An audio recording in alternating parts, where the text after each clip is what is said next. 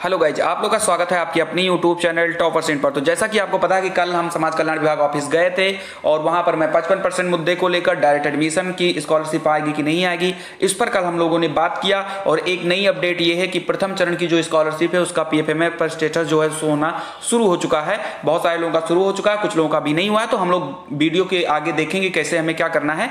तो वीडियो शुरू करने से पहले बस एक छोटी सी रिक्वेस्ट है। जैसा कि आपको पता है कि ये चीज़ जो अगर आप लोग मुझे सपोर्ट करना चाहते हो, अपने इस चैनल को सपोर्ट करना चाहते हो, बहुत सारे बच्चों ने कहा कि, सर, मुझे सपोर्ट करना है आपके चैनल को।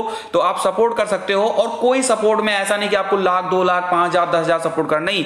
जैसे कि मान लीजिए आप अपने फ्रेंड को क्या करते हो? कभी कभी एक चॉकलेट गिफ्ट कर देते हो, एक चाय पिला देते हो आप लोग। तो बिल्कुल उसी तरीके सपोर्ट करना है। आप लोग जितना भी आपका मन करे, दस, बीस पचास, सौ, जो भी आपका मन करे, आप अपने इस चैनल को जो है सपोर्ट कर सकते हो। एक कंट्रीब्यूट होगा आपके इस चैनल को, क्योंकि मैं भी आपका साथी हूँ तो आप कंट्रीब्यूट कर सकते हो। लेकिन उन बच्चों से रिक्वेस्ट है कि जो कंट्रीब्यूट भी नहीं करेंगे और अनर्गल बातें भी करेंगे तो उन लोगों को दूर ही रहना क्योंकि ये फ्रेंड की तरफ़ से है, अगर आप चाहो तो मुझे दस रुपए वाली चॉकलेट गिफ्ट कर सकते हो, बीस वाली चॉकलेट गिफ्ट कर सकते हो, ठीक है?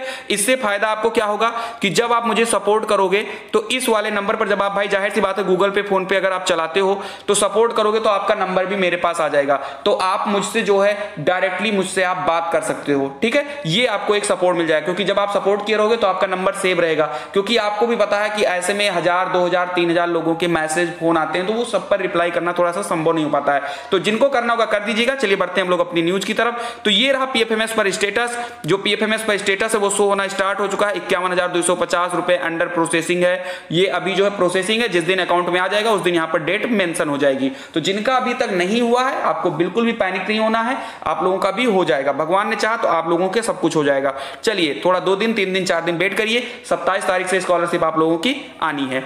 चलिए, बढ़ते हैं इस वाली न्यूज़ पर।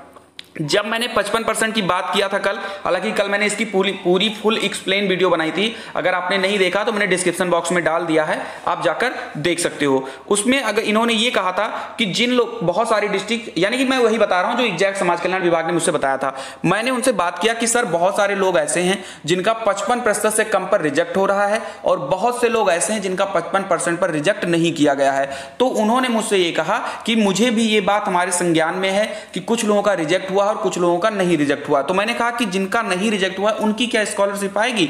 तो उन्होंने सीधा ये कहा है कि अगर आपका वेरीफाई हो चुका है तो आप बिल्कुल भी परेशान न होइए, आपकी स्कॉलर आ जाएगी। क्योंकि जो डाटा होता है, वो डिस्ट्रिक्ट से वेरीफाई होने के बाद में जब लखनऊ जाता है तो सिर्फ़ वो बजट के हिसाब से उसको ट्रांसफ़र ही करते हैं। ठीक है, ये चीज़ उन्होंने बताया है। डायरेक्ट एडमिशन के लिए अगर मैंने बात किया तो उन्होंने ये कहा कि डायरेक्ट एडमिशन में ये कहा गया है कि इनकी डेटा को फॉरवर्ड ना किया जाए। हालाँकि ये जो है, अभी की सत्र से था, लेकिन उन्होंने कहा है कि जिनका डेटा फॉरवर्ड हो चुका है, यानी डायरेक्ट एडमिशन भी आपने लिया है और आपका डेटा जो है डिस्ट्रिक्ट लेवल पर फॉरवर्ड हो गया है तो आपकी स्कॉलरशिप तय है, आनी बिल्कुल 100 परसेंट आपको कोई भी दिक्कत नहीं होनी चाहिए। ये चीज़ उन्होंने बता दिया है हमको। तो आपके लिए आपके काम के लिए मैं समाज कल्याण विभाग ऑफ़िस जाता हूँ, उनसे सीधा बात करता हूँ। मैं किसी से बात और नहीं करता हूँ कि तुम बता दो भैया इनकी ये प्रॉब्लम है तो कैसे सॉल्व होगी। मैं समाज कल्याण विभाग में जाता हूँ और उनसे बात करता हूँ कि बताइए इसको मैं कैसे सुधार सकता हूँ। ठीक है? चलिए तो ये न्यूज़ थी आज आपके लिए और पीएफएमएस पर शो होना शुरू हो चुकी है आपकी जो स्कॉलरशिप आनी। तो अगर आपने अभी तक चेक नहीं किया तो एक बार अपने पीएफएमएस पर चेक कर लीजिए। उम्मीद करता हूँ कि आपका भी आ गया होगा और नहीं आया है तो बिल्कुल भी घबराने की ज़रूरत नहीं है। एक से दो दिन में, दो से तीन दिन में आपकी भी आ जाएगी, क्योंकि धीरे धीरे एक लोग, दो लोग, तीन लोग ऐसे ही दिखा रहा है। अभी सभी की अपडेट भी नहीं हुई है। हालाँकि ये कल शाम की है, एक बच्चे ने मेरे पास मैसेज किया था तो उसी की है। चलिए तो ये चीज़ आप देख लीजिएगा, कोई दिक्कत की बात नहीं। और हाँ अगर हो सकेगा तो प्लीज़ सपोर्ट करिएगा अपने चैनल को, और नहीं हो सकेगा तो कोई बात नहीं। मिलते हैं अगली वीडियो में। जय हिंद, जय भारत।